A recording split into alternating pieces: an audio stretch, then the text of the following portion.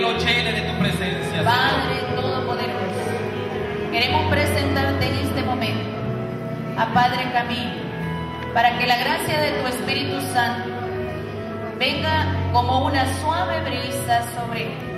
Oh Espíritu Santo, y llena, inunda, y que la gracia de tu Espíritu Santo fluya como un río de agua viva, que inunda, que llena, que penetra, que reverdece el alma y el corazón.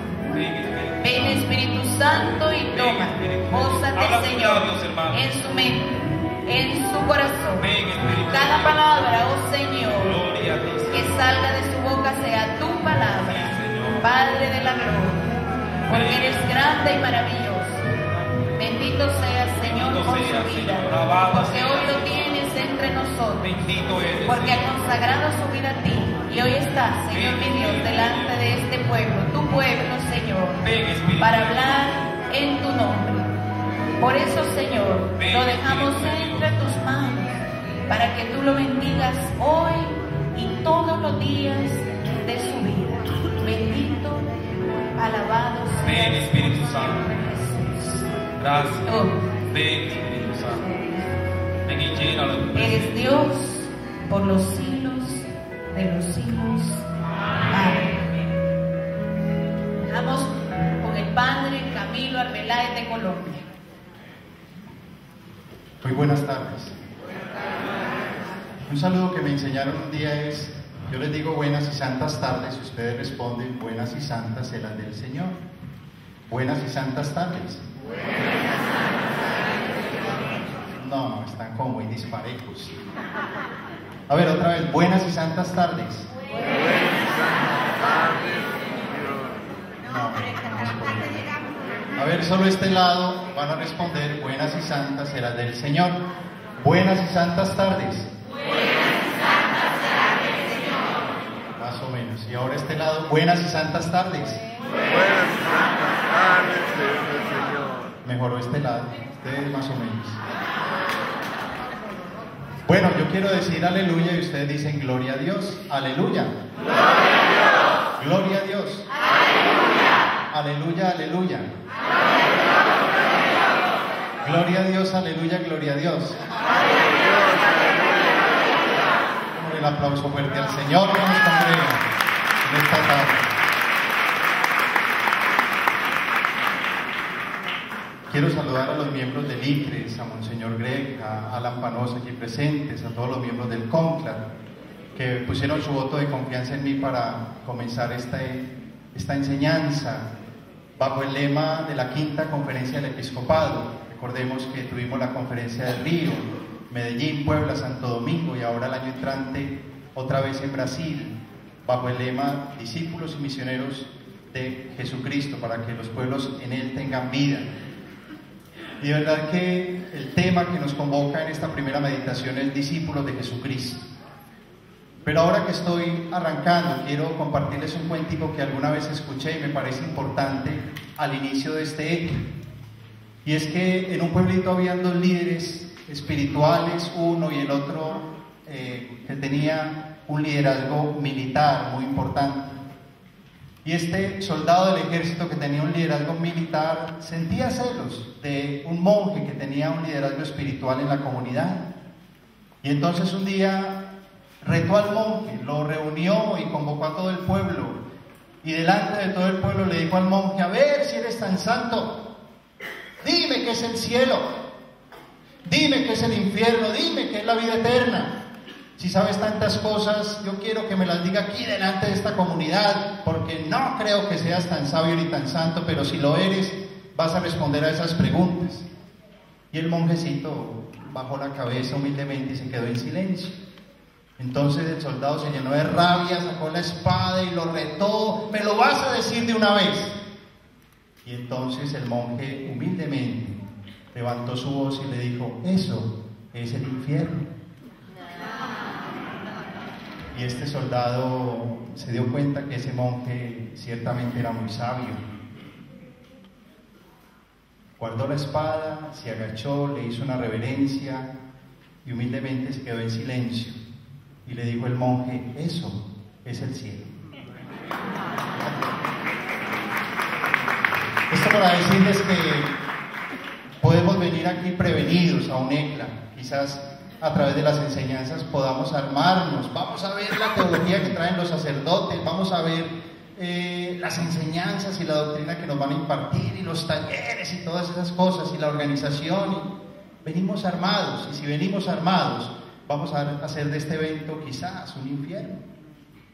Pero si en una actitud de humildad vamos a darle gracias al Señor por todos los hermanos que han preparado este cenáculo de oración para nosotros y lo han dispuesto todo para vivir estos días un Pentecostés. Vamos a hacer de esto un cielo. A ver, levanten la mano los que quieran hacer de esto un infierno. Un cielo.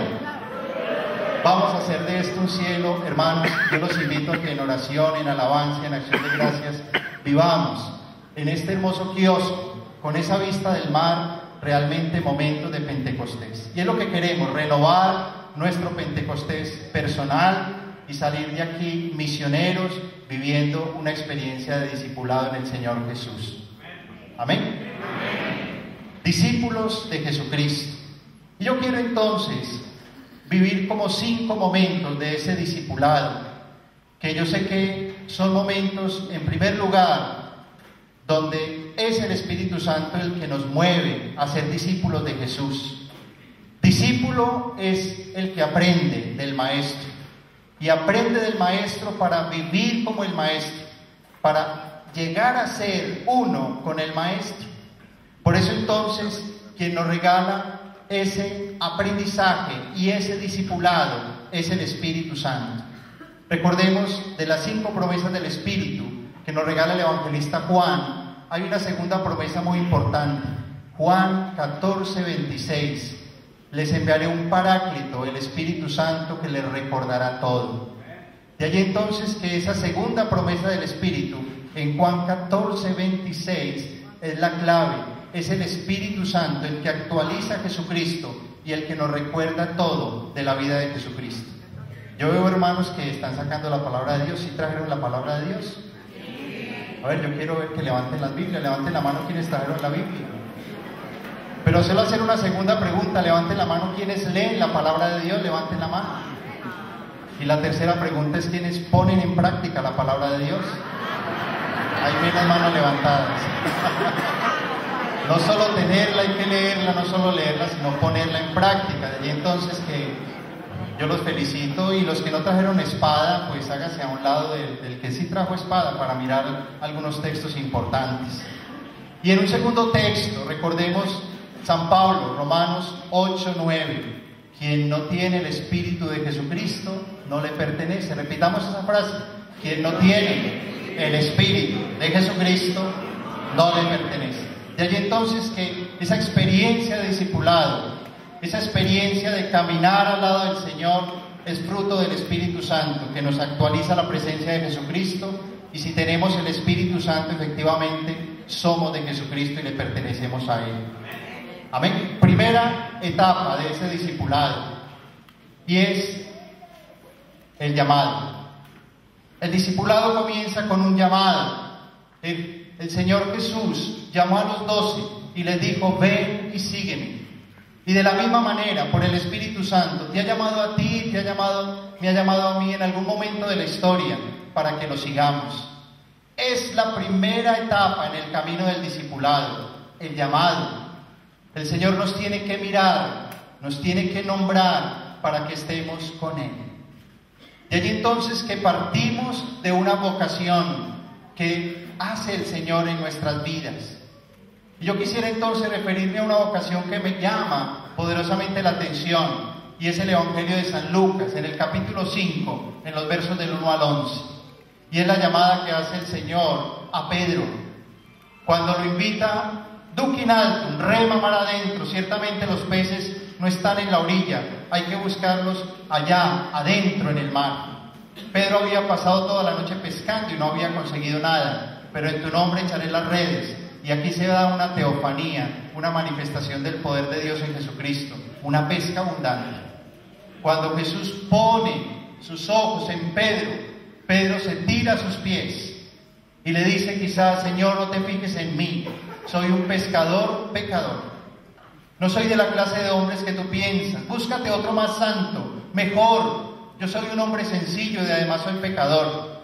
Y el Señor entonces, mirándolo a los ojos con amor, le dice, Pedro, no te busco porque seas santo, para que seas mi amigo.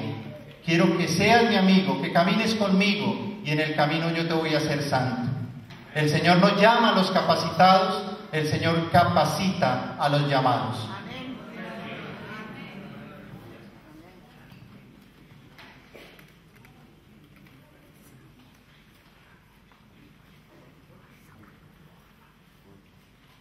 Y hablar más despacio.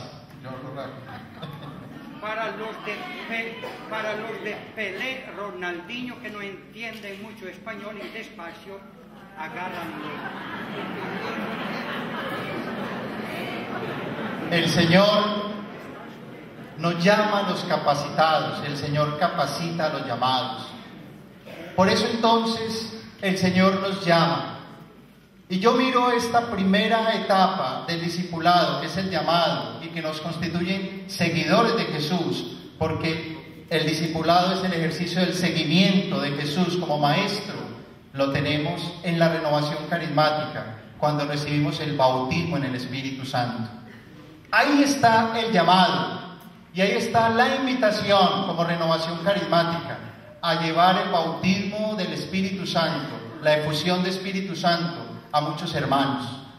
Tenemos el seminario de vida en el Espíritu, que bien vivido, que bien llevado en las comunidades y en las parroquias nos regala esa experiencia maravillosa de efusión, de bautismo en el Espíritu Santo. Levanten la mano las personas que ya recibieron el bautismo en el Espíritu Santo. Bueno, bajen la mano. ¿Quiénes no han recibido todavía el bautismo en Espíritu Santo? Levanten la mano. Bueno, muy bien. Todos afortunadamente ya hemos recibido ese bautismo. Recuerden, no es un sacramento, supone la gracia del sacramento. Y yo diría que ahí se da esa experiencia maravillosa de llamado. Hablamos de más de 100 países donde está la renovación carismática y más de 100 millones de católicos que ya han vivido esta experiencia de bautismo en el Espíritu Santo. Pero no es, es decir, en 6 mil millones de hermanos que habitamos el planeta Tierra, la tarea aún es muy grande y tenemos que evangelizar y esa es la segunda parte de este lema, misioneros, bajo el poder del Espíritu Santo, para que los pueblos en Jesucristo tengan vida. De allí entonces que la llamada se constituye cuando recibimos esa efusión de Espíritu Santo. Yo recuerdo en el año 92 mi primer encuentro con la renovación carismática.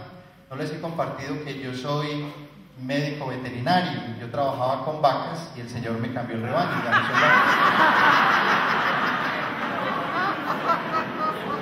Yo trabajaba como veterinario en el área reproductiva. Me tocaba palpar vacas, saber si estaban preñadas, vacías y todas esas cosas en el campo y de ahí me sacó el Señor. Y entre otras cosas, suelo contar que cargaba un maletín donde echaba eh, veterina o medicamentos, guantes, con endoscopio, termómetro y, y ahora mi maletín es el vino, las hostias, el misal, óleos. Ha sido el Señor. Y en el año 92, ya estando en el seminario, me invitaron a un retiro para profesionales, donde se dio un seminario de bien el Espíritu. Ahí no tuve la efusión de Espíritu Santo, pero ese retiro abrió el camino y después, a los ocho días, en un grupo de oración, me impusieron las manos, oraron por mí y efectivamente el Señor me tocó muy profundamente. Duré una semana en llanto, una semana sumergido en el Espíritu Santo y de verdad que fue una experiencia sobrecogedora y me afianzó en la vocación porque les digo sinceramente, yo estaba en el seminario como profesional tambaleando, no sabía si, si quedarme o salirme. Inclu- incluso los primeros días, lo cuento como anécdota, eh, estábamos en el seminario, nos dieron una ceremonia de imposición de almas, el vestido blanco como seminaristas para ayudar. eh, nuestro seminario era en una parroquia, ahí en, mi ciudad. Y entonces yo le decía mucho a mi mamá, mamá, no le vas a contar a las amigas que yo estoy en seminario. Shh. Mamá, no digas nada, mamá. chico". Y entonces, claro, nos pusieron el alba, nos tocaba ayudar a dar comunión en la parroquia y también eran las fiestas patronales Nuestra Señora de Lourdes el 11 de febrero. Y empezamos a hacer procesiones por las calles. Y un día estábamos en procesión, yo llevaba un cirial, un abogado compañero, fuimos cinco profesionales que estuvimos en el seminario, otro cirial y en el centro el médico con la cruz. Íbamos por la calle y yo era, ay, que no estén por aquí las amigas de mi mamá. Cuando de pronto íbamos en media calle y la secretaria de la Facultad de Medicina vio al médico de Cruz y de Alba Blanca por media calle y le dijo, doctor, ¿usted qué está haciendo ahí? Y él le dijo, chito, chito, después le cuento, después le cuento. Y salió corriendo con esa cruz como una espada, se adelantó como dos cuadras. Pero era nuestra primera experiencia y en realidad era como, si estamos o no, seguir al Señor Seguir al Señor implica una lucha interior. Hay una pintura muy interesante en la iglesia de San Luis de los Franceses, allá en Roma. Es una pintura de Caravaggio y es la vocación de Mateo. Y el pintor muy genialmente muestra una luz entrando y Jesús que está señalando a Mateo.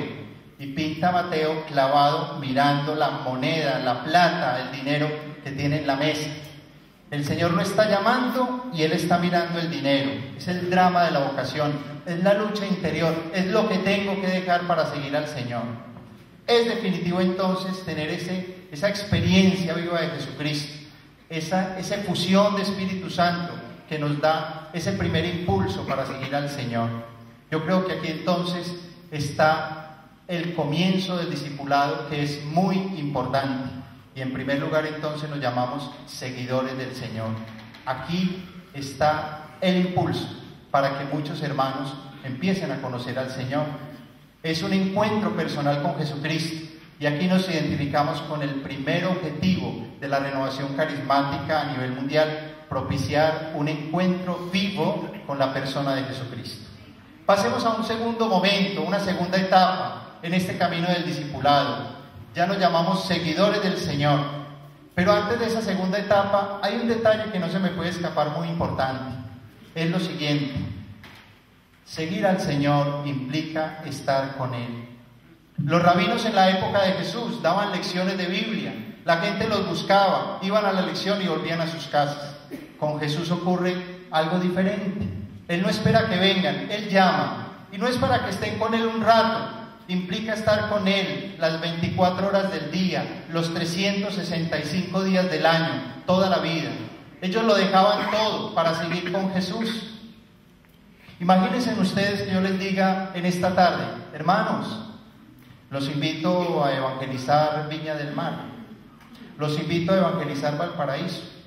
Biblia en la mano, nos vamos a caminar y evangelizar esta ciudad. Son dos millones de habitantes. ¿Me siguen? ¿Dónde vamos a dormir? Yo no sé. ¿Qué vamos a comer? Yo no sé. Nos vamos a evangelizar. ¿Me siguen? Ah. Ellos lo dejaron todo para estar con Jesús.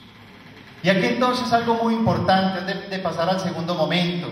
Y es que el discipulado, más que compartir lecciones, más que compartir ideas, más que compartir doctrina, es compartir la vida.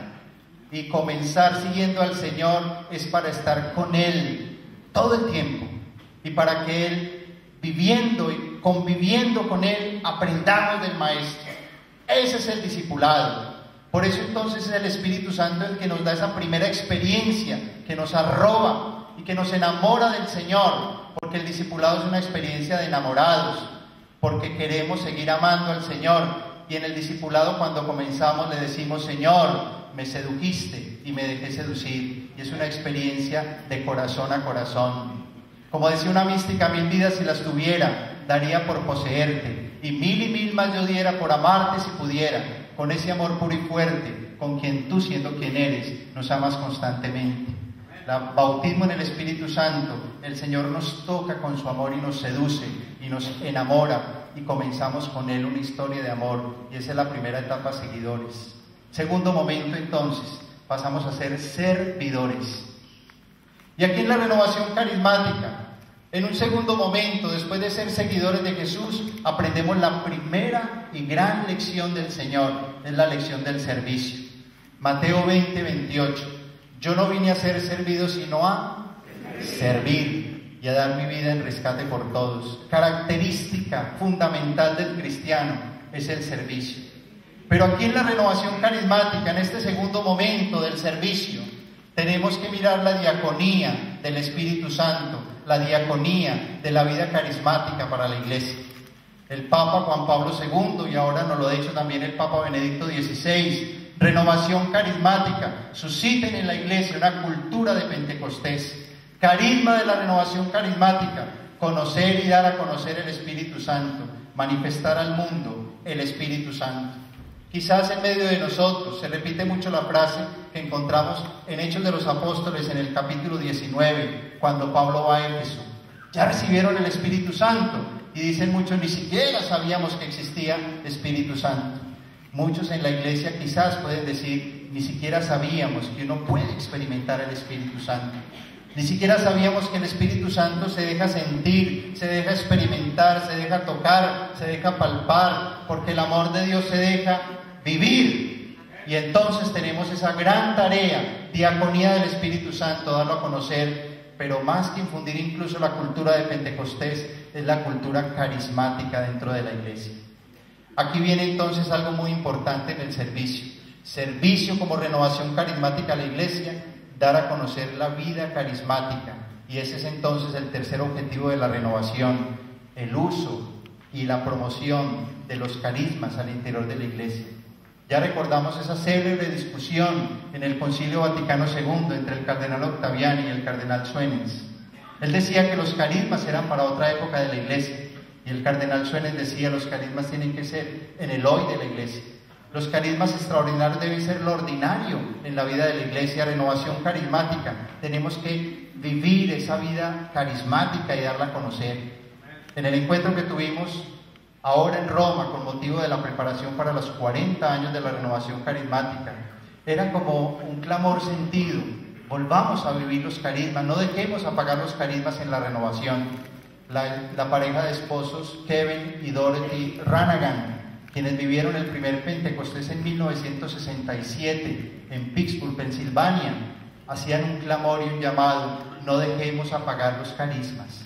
Servidores, discípulos del Señor, tenemos que manifestar este servicio, esta diaconía a la iglesia a través de los carismas.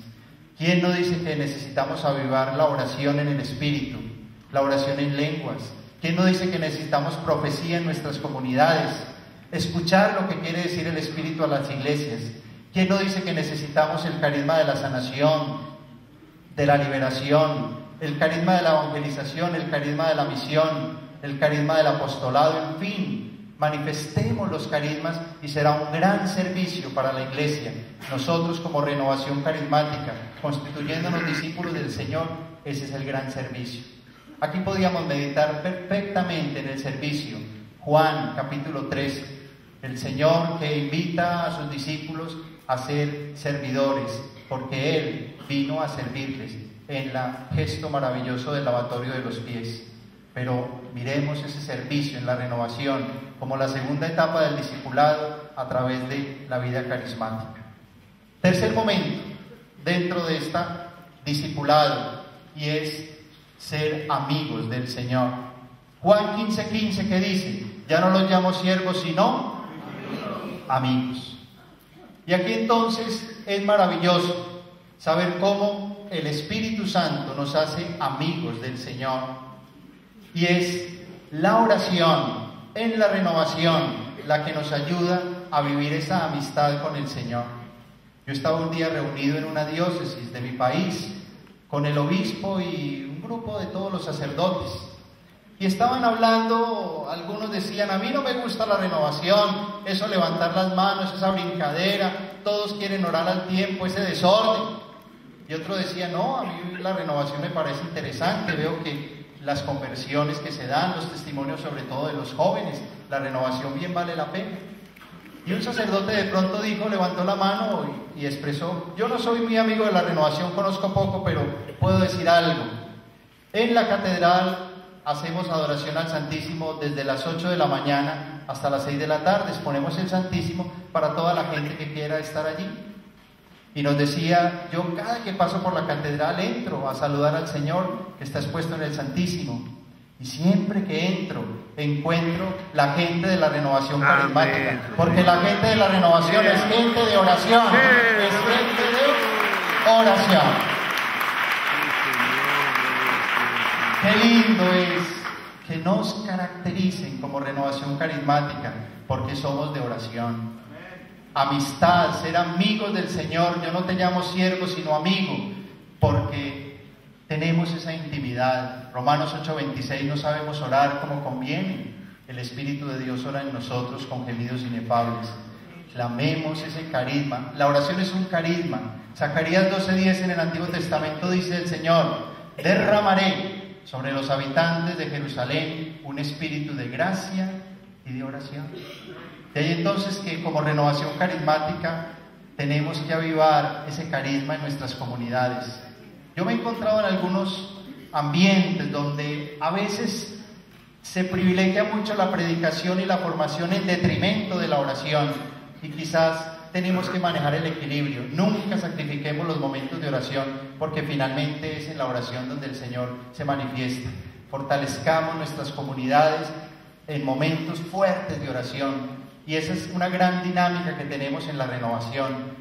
Grupos de oración esparcidos por todas partes y yo creo que de este ECLA debemos tener esa consigna, llevar y sembrar muchos, muchos grupos de oración de manera especial en nuestras parroquias, en nuestras comunidades, momentos fuertes de oración. Ya el Papa lo decía en la Nuevo Milenio Ineunte, que las parroquias debían ser escuelas de oración. Y qué mejor escuela que la que podemos dar en la renovación carismática. De allí entonces que en este camino del discipulado somos seguidores, en segundo momento somos servidores y en tercer momento somos amigos del Señor porque tenemos una amistad profunda con Él. Jesús que compartía con sus discípulos, que hablaba con ellos, que vivió una experiencia de intimidad profunda con ellos y ese es el camino que tenemos en la renovación. Vamos viviendo estas etapas y vamos sintiendo al Señor cada vez más nuestro. Un cuarto momento en el camino del discipulado. Primero fuimos qué? Seguidores, después servidores, después amigos. Cuarto momento somos hermanos. El discípulo es, vas a ser un hermano del maestro. Y aquí entonces en la renovación carismática, esta hermandad, yo quiero enmarcarla dentro de la vida en el espíritu en comunidad. Nancy Keller, en una hermosa conferencia durante el retiro que tuvimos en Roma, nos decía, me sirve para hablar del tema de la comunidad cuando yo tengo que prender fuego en la chimenea en mi casa. Para prender fuego yo utilizo papel, madera y carbón. Cojo el papel y lo coloco y el fuego arde rápidamente, pero necesito meter madera para que ese fuego se mantenga. Pero si quiero que el fuego permanezca, tengo que poner carbón. Y entonces ella decía algo interesante. En la renovación carismática tenemos grandes eventos donde la gente dice, wow. A ver, digamos, wow. No, ese wow está como... Esos son los grandes eventos. Y, y la gente sale avivada, wow. Pero ese fuego se apaga rápidamente. Entonces decimos, tenemos que pasar al grupo de oración. Todas esas grandes concentraciones que suscitamos en la renovación carismática, muy válidas y muy importantes, tenemos que hacerlas después derivar en que la gente se congregue a través de la experiencia de los grupos de oración. Pero decía, para que el fuego del Espíritu permanezca, necesitamos terminar en la vida en comunidad. De los grupos de oración tenemos que pasar a vivir el Espíritu en comunidad. Son como tres grandes momentos que tenemos en la renovación. Grandes eventos o momentos de encuentro. Grupos de oración y comunidades. Esta experiencia de discipulado ciertamente es una experiencia que se vive de manera particularísima en el seno de una comunidad. En la comunidad entonces vamos a crecer muchísimo en la vida carismática. Vamos a crecer mu- muchísimo en el conocimiento del Señor y vamos a crecer muchísimo en la fraternidad, porque en la comunidad se da la verdadera hermandad. Y es el Espíritu Santo el que nos hace hermanos. Hermanos del hermano mayor Jesucristo y hermanos los unos con los otros al interior de la comunidad. Miren qué importante. El Espíritu en Jesucristo primero llamaba a sus discípulos servidores. Después les dice, yo no son siervos sino amigos. Y después Jesús resucitado se aparece a María Magdalena y le dice, ve y dile a mis hermanos. Porque después de resucitado el Espíritu Santo a todos nos llama sus hermanos. Gálatas 4:6 dice, no hemos recibido un espíritu de esclavos, sino de hijos, que nos hace clamar, Abba. Y si todos tenemos el mismo papá, que somos los unos con los otros, somos hermanos. Mira al hermano que está a tu lado. Extiende tu brazo, descánsalo sobre su hombro y dile, hola hermano. Ese es tu hermano, esa es tu hermana. Dale un abrazo. Somos hermanos. ¿Quién es mi madre quiénes son mis hermanos? Los que escuchan la palabra de Dios y la ponen en práctica.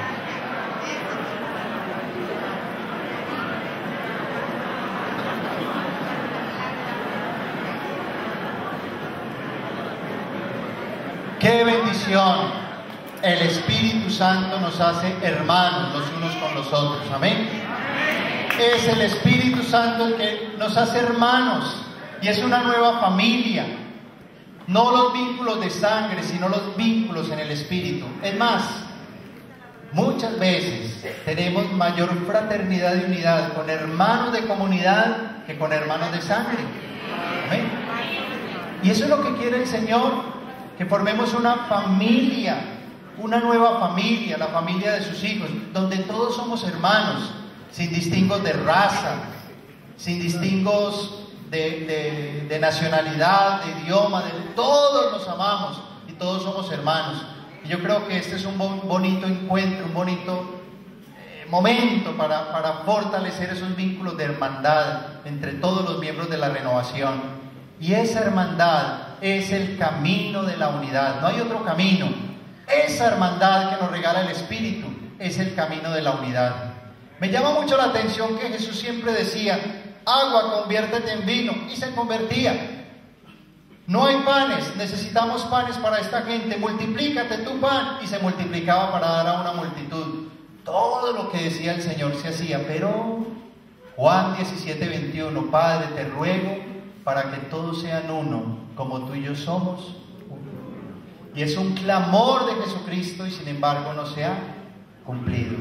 Y es un reto que tenemos, la unidad al interior de la renovación, de la renovación al interior con más de 100 y más movimientos de la iglesia, la unidad de toda la iglesia y la unidad de la iglesia con iglesias cristianas, que un día, al menos como cristianos, podamos sentarnos a esta mesa, el banquete de la unidad para celebrar juntos la Eucaristía.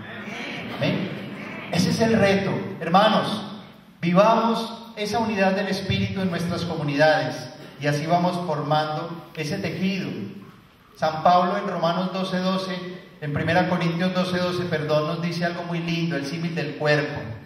Somos miembros del cuerpo y cada uno cumple su función. Células que forman tejidos, tejidos que forman órganos, órganos que forman sistemas, sistemas que se unen para articular el cuerpo.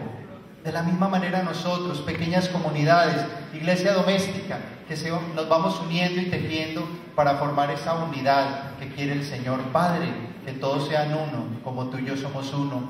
Y esa es la vida en el Espíritu, en comunidad, y es el ámbito donde gestamos la fraternidad. Qué lindo entonces, primero somos qué? Seguidores, después servidores, después amigos, cuarto, hermanos, y vamos quinto, el discípulo. Es un seguidor, un servidor, un amigo, un hermano del Señor y hermano entre los miembros de su comunidad. Y el quinto y lo último, el discípulo tiene que llegar a ser Cristo. Tú y yo y los hermanos que formamos la comunidad, por la acción del Espíritu Santo, tenemos que llegar a ser Cristo. Y aquí entonces la frase, de San Pablo en Gálatas 2.20. Yo no soy el que vivo, es Cristo que vive en mí. La meta del discípulo, la meta del discípulo es ser Cristo. Mira al hermano que está a tu lado otra vez. Míralo a los ojos y dile, hola Cristo. Abrázalo, es Cristo. Ese hermano es Jesucristo. En su corazón está Cristo. En sus ojos mira Cristo. En sus palabras habla Cristo. Ese hermano es Cristo. Ahí está reflejado Cristo.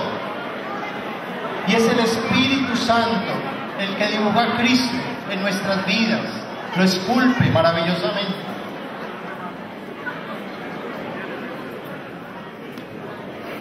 Cristo. Gálatas 4:19 dice Pablo, sufro dolores de parto hasta no ver a Cristo formado en ustedes. Comunidad carismática, tenemos que ser el reflejo de Jesucristo. Discípulo de Cristo significa llegar a ser Cristo.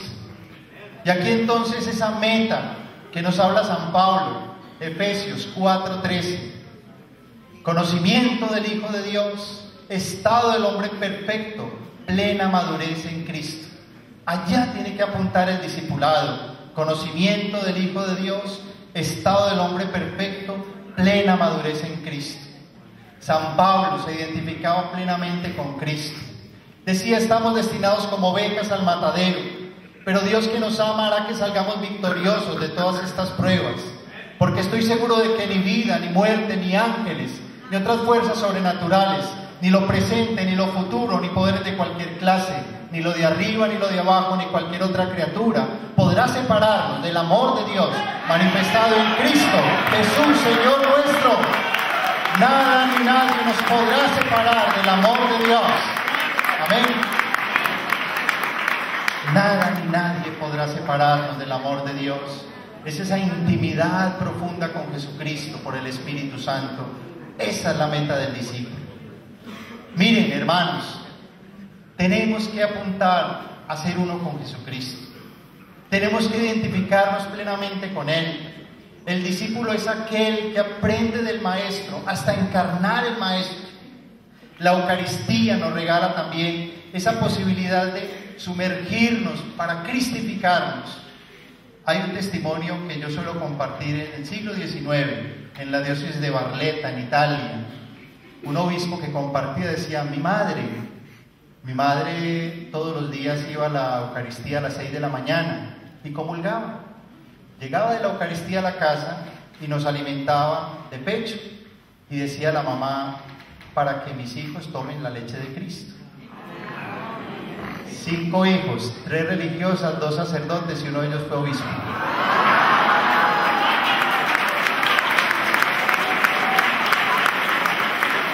Mamás, ahí les dejo el consejo, ahí les dejo el consejo. San Agustín decía, cuando nos alimentamos, el alimento se, se, pierde, desaparece y se transforma en nosotros. Si nos comemos un banano y nos toman una radiografía, no aparece el banano, aparecemos nosotros. Pero si nos alimentamos de Jesucristo en la Eucaristía, Cristo nos transforma en Él. La Eucaristía nos cristifica. Es una transfusión de sangre y nos da la sangre de Cristo. Es un trasplante de corazón y nos da ese corazón nuevo cumpliendo esa profecía de Ezequiel en el capítulo 36. Os daré un corazón nuevo y ese ese corazón nuevo nos lo regala también la Eucaristía. Por eso la Eucaristía ciertamente nos cristifica. El Espíritu de Dios nos cristifica. El camino del discipulado tiene que llevarnos a la cristificación. Ese es el Espíritu Santo que debe hacer de Cristo en cada uno de nosotros una experiencia real para que lo reflejemos. Somos seguidores, servidores, amigos, hermanos, para llegar a ser ese es el camino del discipulado por la acción del Espíritu Santo. Ahí tenemos que apuntar todos. Cada uno encarnar a Jesucristo individualmente, pero que mi comunidad también sea Cristo en medio de los hermanos. Comunidad no soy yo la que vivo, es Cristo que vive en mi comunidad. Y eso es lo lindo de los carismas. El que tiene el carisma de la predicación es Cristo que predica en la comunidad. El que tiene el carisma del servicio, el carisma de la oración de intercesión, de la sanación, son los miembros manifestando la unidad que es la persona de Jesucristo. Y para terminar, yo quiero que miremos entonces el último texto, Juan 13, en el verso 35. En esto conocerán que son mis discípulos. Discípulos que somos servidores, amigos, hermanos, encarnamos a Cristo. En esto conocerán que son mis discípulos. ¿En qué nos conocerán que somos discípulos del Señor? Verso 35 del capítulo 13. ¿Quién lo quiere leer? En que nos amamos los unos a los Y aquí termino mi reflexión porque es el Espíritu Santo el que hace posible el milagro del amor y el milagro del amor a la manera de Jesús. ¿Cuál es el mandamiento nuevo? ¿Quién lo dice? No, no, no, no lo escucho. El mandamiento que resume la ley y los profetas. La Eucaristía es el sacramento del amor porque en ella vivimos el mandamiento del amor. ¿Cuál es el mandato que nos dejó Jesucristo? Nos amemos los unos a los otros. A ver, Juan 13:34 o Juan 15:12. ¿Qué dice el Señor? Amaos los unos a los otros como yo. Ustedes saben que hay tres niveles del amor. El primer nivel del amor es el más elemental, es el amor del Antiguo Testamento, es el amor incluso que nos invita a, vivir otras corrientes espirituales. ¿Cuál es el nivel elemental del amor? Ama a tu prójimo como a ti mismo. Ese es el nivel elemental del amor. Si cumpliéramos quizás ese primer nivel del amor del Antiguo Testamento, viviríamos muy bien. Pero atención, tenemos que partir de amarnos a nosotros mismos para amar en esa medida al prójimo. Hay gente que no se quiere a sí misma, que una zona bananera muy amplia, que mucho pelo, poquito pelo. Yo suelo dar este consejo, cuando se levanten, se miran al espejo y se dicen, como amaneció hermoso mi cachetón.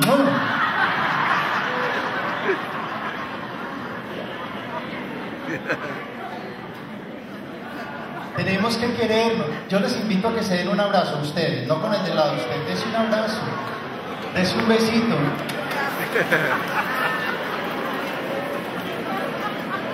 Tenemos que querernos. Eso se llama autoestima. La experiencia de Dios nos invita a querernos. Si nos sentimos amados por el Señor, ¿cómo no querernos nosotros mismos y en esa medida querer al hermano? Ese es el primer nivel del amor, el más elemental. Pero viene un segundo nivel del amor, quizás más exigente que el primero, y es ama a tu prójimo como amas a Jesús. Ama a tu hermano que tienes a tu lado, como amas a Jesús. Mateo 25, 31 dice, el Señor, tuve hambre y me diste de comer, tuve sed y me diste de beber, estuve desnudo y me vestisteis, enfermo en la cárcel y vinisteis a... Señor, ¿cuándo lo hicimos contigo? Cuando lo hicieron con uno de mis más humildes, lo hicieron conmigo. Ver en el otro el rostro de Cristo, amar al hermano como amo a Cristo. San Camilo de Levis, patrono de los enfermos. Camilo, ¿por qué curas con tanto amor las heridas de los enfermos? Y decía, porque se las estoy curando a Cristo. Madre Teresa de Calcuta, ¿por qué curas con tanto amor y con tanta dedicación las heridas malolientes de esos leprosos? Y ella decía, porque se lo estoy curando y haciendo a Cristo. Eso no lo haría yo ni por mil dólares. Y ella dijo, yo tampoco, yo lo hago porque lo estoy viviendo con el mismo Cristo. San Benito dice en su regla, atiendan a los peregrinos como si fuera Cristo. A mí me gusta ir mucho a las abadías benedictinas porque piensan que yo soy Cristo y me atienden muy bien. Atiendan a los hermanos como si fuera el mismo Cristo. Vean en el otro el rostro de Cristo y amen al prójimo como aman ustedes a Cristo. Yo sé que ustedes cuando se levantan lo primero que hacen es, Señor, Yo te alabo, te bendigo, te doy gracias. Señor, te ofrezco este día. Te regalo mi vida, mi corazón te pertenece, Señor. I love you. Mm. Ese amor profundo que tenemos por Jesucristo, vertámoslo también el hermano. Y ese es el segundo nivel del amor. Y vamos al tercer y último nivel del amor y con esto ya termino. Tercer nivel del amor. Ama a tu prójimo como Jesús te ama a ti. ¿Fácil o difícil? No digamos que fácil.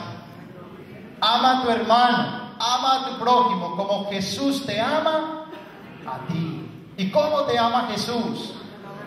Dando la vida sin medida, a fondo perdido. Ese es el amor que nos debe caracterizar si somos discípulos del Señor. Amar con la única medida de hacerlo sin medida. Y por eso la renovación carismática debe caracterizarse, porque somos de oración, porque somos hermanos, porque vivimos el discipulado, pero sobre todo nuestra principal característica es porque nos amamos. Y la iglesia y los cristianos, si nos identifican por algo es porque nos amamos. Y nos amamos a la manera de Jesús dando la vida. Y solo el Espíritu Santo en nuestros corazones puede llevarnos a vivir el amor en esa altura, en esa estatura de entregarnos completamente por el hermano, porque Jesús se ha entregado completamente por nosotros. La Madre Teresa de Calcuta, un día un periodista de la, de la BBC de Londres se vino en la década de los 70 a hacer una película de la Madre Teresa y vino a Calcuta. ¿Dónde están los sanatorios o los salones donde trabaja la Madre Teresa? Allí están dos grandes salones inmensos, salones del Inmaculado Corazón de María. Este periodista entró y cuando vio eso, religiosas lavando el piso, dándole comida a los enfermos, orando con unos, limpiando a otros, entró en shock. Y dijo, estas hermanas o están locas o tienen algo que yo no sé qué es. Y se le acercó a la Madre Teresa y le dijo, Madre, ¿cómo hacen para hacer lo que hacen? Y le dijo la Madre, para esto no hay pastillas. Si quiere yo lo invito y mañana lo espero por la mañana en el convento. Y él al otro día madrugó a las seis de la mañana, muy elegante, de corbata, y se hizo en la parte de atrás del convento. Las hermanas oran dos horas ante el Santísimo y después celebran la Eucaristía. Y en medio Eucaristía le dijo la Madre Teresa este periodista, lo miró, ahí está el secreto para amar de esa manera. Es el Señor, es el Espíritu Santo el que nos da esa gracia maravillosa de amar a la manera de Jesús. Juan 13, 35. En esto conocerán que son mis discípulos, en que se aman los unos a los otros, como yo los he amado, y cumplen el mandamiento del amor. Hermanos, qué lindo es el Señor que un día nos llamó en la renovación cuando vivimos el bautismo en el Espíritu Santo. Nos miró a los ojos, nos llamó por el nombre y nos sedujo porque nos abrazó en ese amor profundo. Y ahora entonces queremos servirle en la renovación para toda la iglesia. Y queremos sentirnos de verdad sus amigos, tratarlo con esa confianza que nos da esa experiencia profunda de su amor, sentirnos sus hermanos y sentir que entre todos hay ese vínculo de unidad y de hermandad y encarnarlo, ser Cristos por la gracia del Espíritu Santo y encarnándolo llegar a amar como Él nos ama. ¿Quieres ser santo? Tienes que amar a la manera de Jesús. Madre Teresa decía, la santidad no es un lujo, es una necesidad. Un día un, un predicador lo escuché diciendo, renovación carismática, tienes que regalarle una generación de santos a la iglesia. Siendo discípulos caminamos hacia la santidad y la santidad no es otra cosa que amar a la manera de Jesús. Dejemos pues que sea el Señor con su Espíritu Santo el que siga llamándonos a estar con Él, para aprender de Él como discípulos y finalmente para encarnarlo a Él. Pero aquí no termina todo. Encarnando a Jesús tenemos que hacer que muchos otros encarnen también a Jesús como nosotros. Y esa es la tarea de ser misioneros, que será otra reflexión. Yo los invito a que hagamos una alabanza al Señor, a que le demos gracias porque nos ha llamado, porque nos ha invitado a ser sus discípulos, porque nos ha encarnado su presencia en nuestras vidas y nos invita a amar a su manera. Vamos a ponernos de pie y vamos a alabar al Rey, vamos a alabar al Señor.